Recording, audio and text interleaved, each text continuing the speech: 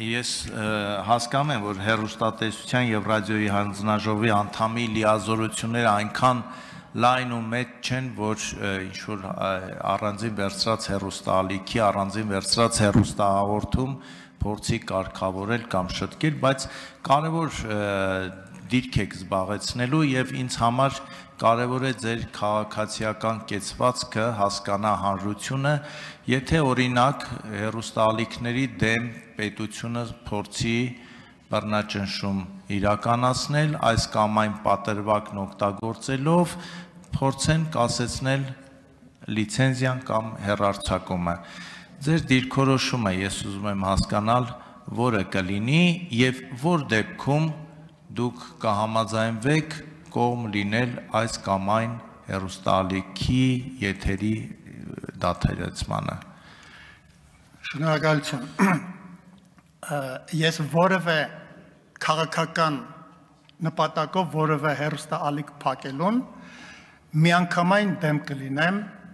եւ փառք ու պատիվ մեզ նաեւ մեր իշխանություններին կներեք որ մինչև այսօր ոչ մի հերոստատեսություն չի փակվել ինչպես փակվում էին սրանից առաջ ինչպես փակվել են սրանից առաջ ես կարծում եմ մեր իշխանությունները այնքան խորհրդություն կունենան որ կշարունակեն այդ գիծը հերոստատեսություն պետք չի փակել ինչի համար փակենք հերոստատեսություն կամ որևէ մեդիա ալիք երբ որ ես նորից ասացի երբ որ հերոստատեսությունը ինչքան որ աշխատում է հասարակության մեջ իր գաղափարները անցկացնելու համար, այդքան էլ իր վարկի բարձրացման կամ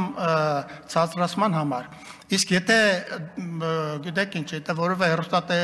տեսությամբ կամ ռադիոյով վաղը վեր կենա մեկը եւ ասի բռնություն, քարոզի, չգիտեմ, ատելություն հայոյանք, ես իհարկե կդիմեմ դատարան։ Դրա համար լուծման ճանապարհներ կան, առաջարկելով լիցենզիայից զրկել նրան։ Արձագանք։ Շնորհակալություն։ Ես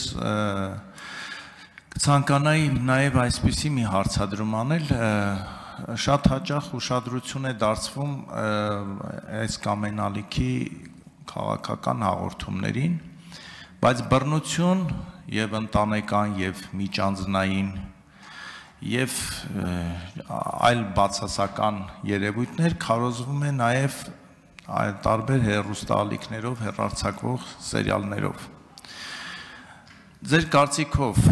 ի վերջո ձեր հանձնաժողովը, որտեղ դուք պետք է աշխատեք, պետք է մի փոքր միջամտելու հնարավորություն ունենա նմանատիպ էժան մարդկանց ուղեղը պղտորող այդ տեսակ քարոշչությունը դադարացնելու համար Ես նայեցի դուք մի ավելի ճիշտ մի անգամ հանդիպեցի ձեր հարցազրույցին, որտեղ ասում եք, որ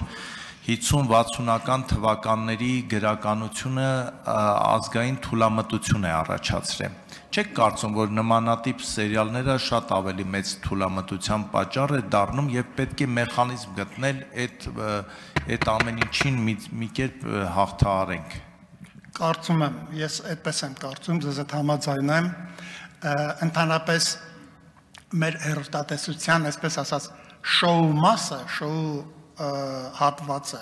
իսկ այդ սերիալները երևի նույնպես հերոստատեսությունում աշխատող իմ ընկերները, եթե սխալվեմ, ինձ կօգնեն, նույնպես այդ շոու հատվածի մեջ են տեղավորվում։ Այդ մասը շատ ցածր է, շատ ոչ միայն ոչ միայն անճաշակ, անիմաստ, ցածր, նույնիսկ նույնիսկ հետաքրքրաշարժ չի ասենք դետեկտիվը օրինակ հետաքրքրաշարժ բան է դետեկտիվ նայելը տասնյակ օժանդակ մտավոր, չգիտեմ, կարողությունները զարգացնելու շախմատային հատկություններ ունի։ Անկամ մեր այն հերոստասերիալներում, որոնց մեջ դետեկտիվ տար կա, այդ դետեկտիվ տարը ոչ թե այսպես դետեկտիվի մեթոդիկայով է արված, այլ գողականի։ Դա շատ մեծ ազդեցություն ունի մեր հասարակության վրա, շատ ճաշակի անկման մի զգալի մասը պայմանավորված է դրանով։ Ես գերմանական հերոստասերիալները գիտեմ, ես նայում եմ լեզվի բերումով մի քիչ գերմաներեն գիտեմ եւ նայում եմ։ Իրենք ուրեմն հերոսա սերիալները գիտեք, որ բավականին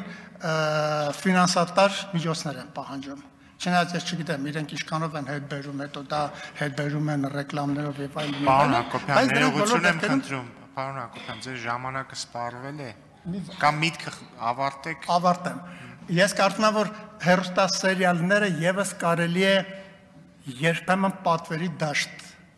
տեղափոխել։ Թող հասարակական կազմակերպությունը, հասարակությունը, ինչի՞ չէ, պետական այս կամ այն կազմակերպությունը, դպրոցը թող